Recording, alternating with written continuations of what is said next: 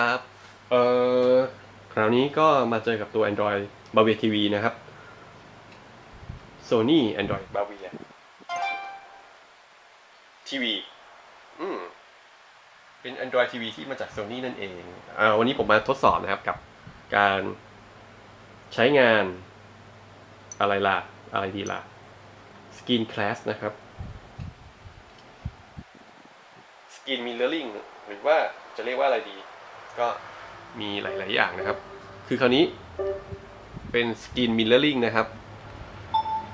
ก็คือส่งภาพผ่านหน้าจอได้เลยนะครับ อุปกรณ์ของฉันเหลืองรับหรือไม่ก็แสดงคู่มือเชื่อมต่อเพื่อการตั้งค่านะทำยังไงบ้าง Screen Mirroring ครับ ก็คือเป็นการนำเอาภาพที่อยู่บนเครื่อง Android นะครับ อันนี้คือเป็น Sony Xperia Z3 นะขึ้นไปที่บนหน้าจอของตัว Android TV Bravia รุ่นนี้นะครับ KDL 43W 800C นะครับ ที่เป็นชื่ออุปกรณ์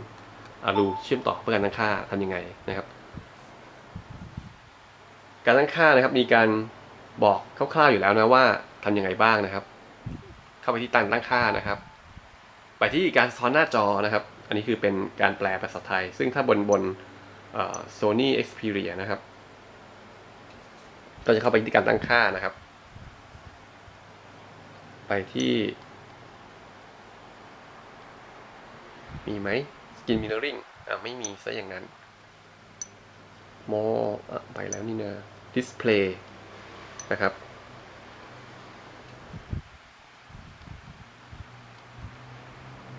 ฮะ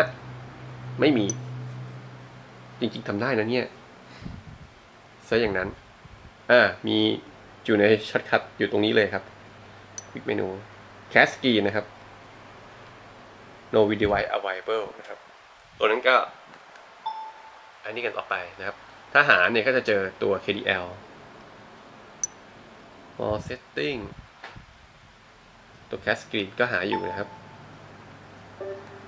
จริงๆ ตัวนี้น่าจะรองรับอยู่แล้วนะครับ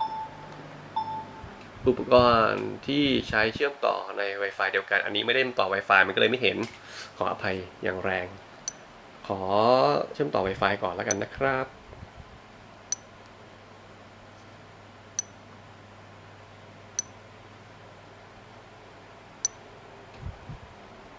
เอ่อโอเค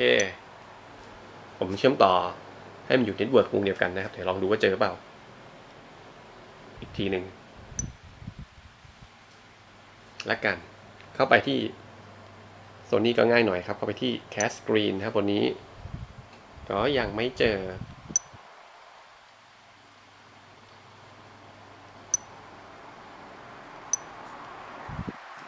Cast Screen นะครับ ก็ยังไม่เจอ เอ่มเดี๋ยวลองดูบนตัว iPhone บ้างนะครับ ว่าเป็นยังไงบ้าง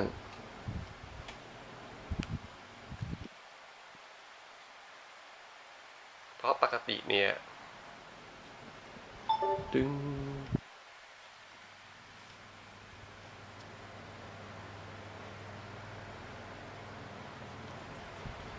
บน iPhone ก็จะปกติก็จะมีเมนูออกขึ้นมาแต่นี้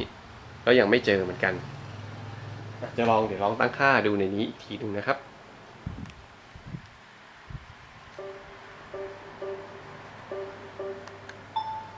อันนี้คือเป็นมือใหม่หัดเล่นนะครับ ก็มาเล่นกันไปด้วยกันเลยทีเดียวนะครับ เรียนรู้กันไปด้วยกัน เครือข่าย Google Class นะครับ Class อันนี้ก็แชร์กันข้อมูลข้อมูลกันใช้เชื่อมต่ออยู่แล้ว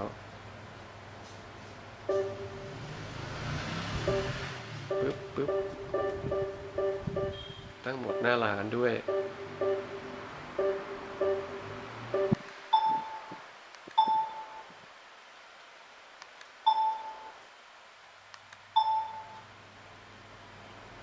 ขออนุญาตเชื่อมต่ออีกสักครั้ง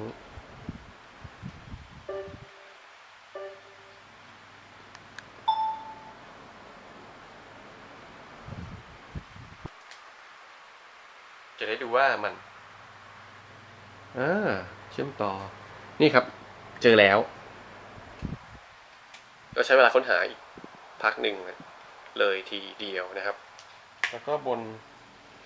iOS นี่ยังไม่เจอ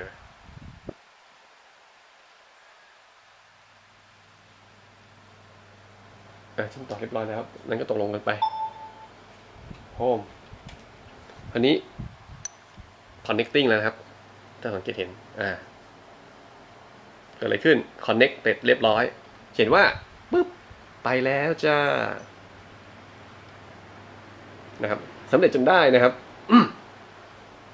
Xperia Z3 ก็หน้าจอขึ้นไปอยู่บนนั้นแล้วครับเห็นว่า ก็ค่อนข้าง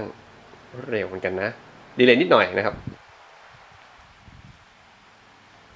ทำอะไรได้มีเกมอะไรไหมหรือ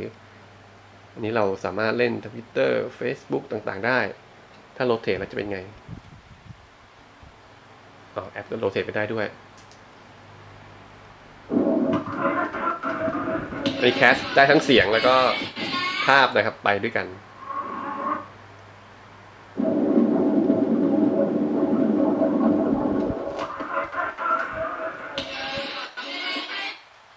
อันนี้ก็ใช้ SP แค่สามถ่ายในน้ำนะครับ เช่นวิดีโอมีอะไรให้ดูรูปล่ะ วิดีโอมีอะไรไหม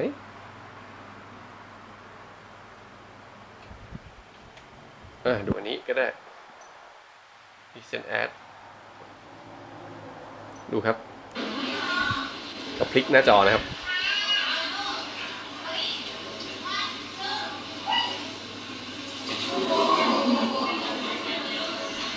ถ้าเราพลิกหน้าจอนะครับเป็นแบบนี้อ่าภาพที่เห็นก็นะครับ จะว่าชัดก็อาจจะไม่เชิง เดี๋ยวขออนุญาตดูไฟล์ที่มัน เออเอออันนี้มีเป็นยังไงบ้าง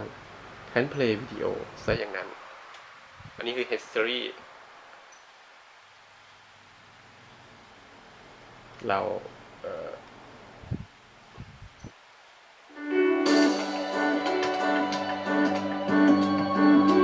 อันนี้แคสสกรีนไปนะครับ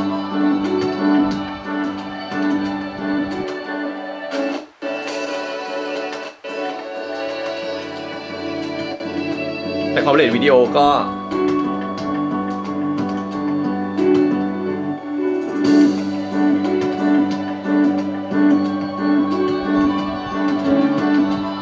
จะไม่ได้สูงมากนะครับอันนี้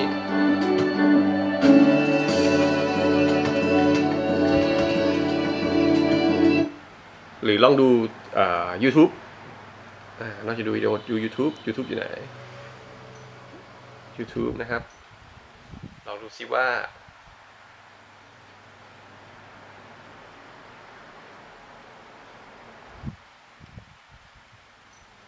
อ้าว Touch to connect to play video นะครับ ก็เนี่ย ก็จะ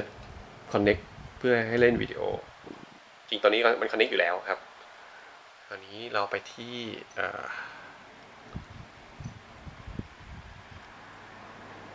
เดี๋ยวลองไปดู ช anel ของ PDA Mobis นิดนึงครับแน่นอนว่าต้องเป็น product ของ Sony เนาะ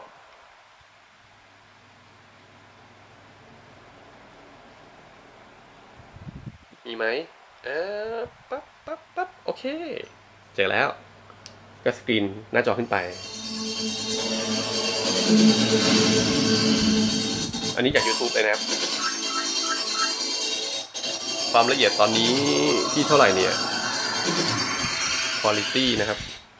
480 สวัสดีครับ วันนี้ผมพามาพบกับเจ้าตัว Smart Beat Trainer นะครับ ซึ่งเป็นตัว เรียกว่าตัว wearable device ก็ไม่ผิดนะครับ จริงๆแล้วคือเป็น Bluetooth headset นะครับ บอกน้ำ LR ชัดเจนนะครับขึ้นไปบนหน้าจอครับ อันนี้เห็นเห็นว่าเราสกรีนต้องบอกว่าต้องขึ้นไปได้เลยนะครับ ใหญ่เหมือนกันนะ ต้องบอกว่าก็ใหญ่กว่าหูฟังปันนะแต่อันนี้คือแบบสามารถเปลี่ยนได้ตัวนี้สามารถถอดเปลี่ยนได้นะครับ จริงๆโซนี่ให้มาค่อนข้ถ้าเราดับเครื่องทีเดียว ดับหน้าจอก็จะดับไปเป็นหน้าจอจริงๆนะครับ หน้าจอทีนี้ดับนะครับ แต่ว่าด้านหน้าของเราจะเห็นว่าเป็นตัวเขาเรียกว่า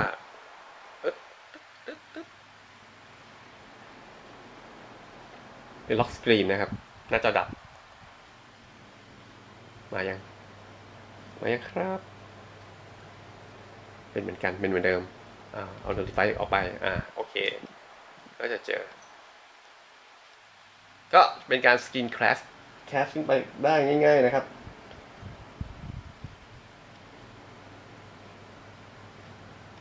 เห็นเห็นเลย ก็แน่นอนว่าถ้ามีเกมเนี่ย พอดีเอ่อน่าจะไม่ได้ลงเกมเอาไว้ ถ้ามีเกมหรือมีอื่นๆ ก็น่าจะสามารถใช้งานได้นะครับไลฟ์ l ็อกนะครับ จาก Sony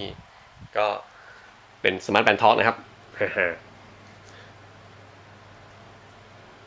เรียกว่าเกือบเกือบๆจะเป็นแฟนพันธุ์แท้โซนี่แล้ว ว่างั้น ถ่ายรูปล่ะ ลองฟังก์ชันการถ่ายรูปนะครับสำหรับตัว Xperia Z3 นะครับ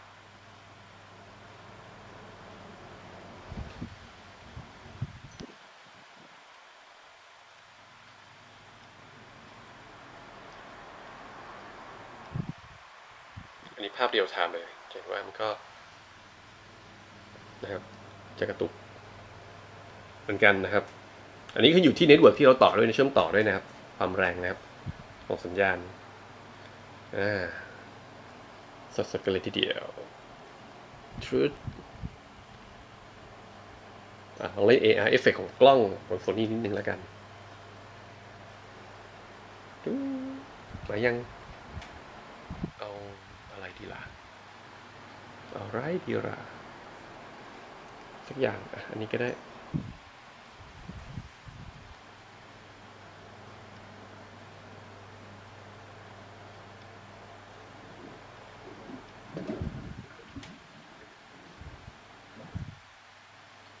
นะครับ ก็คงเป็นการทดสอบให้ดูครับว่าสกินแคสขึ้นไปนะครับ ได้หมดเลยนะครับ บนตัว Sony Xperia Z3 รวมถึงตัวอุปกรณ์อื่นที่รองรับตัว Skin Cast ด้วยครับ Cast Screen Skin Cast Skin Mirroring ก็อาจจะเป็นแล้วแต่รุ่นแล้วแต่แบรนด์นะครับที่ที่เรียกกันนะครับ ส่วนของตัวของ Sony เนี่ยก็เรียกใช้งานกันง่าย ๆ โดยที่เข้าไปที่เมนูนะครับ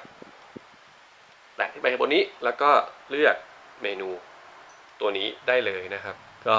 เห็นตัวอุปกรณ์นะครับ Android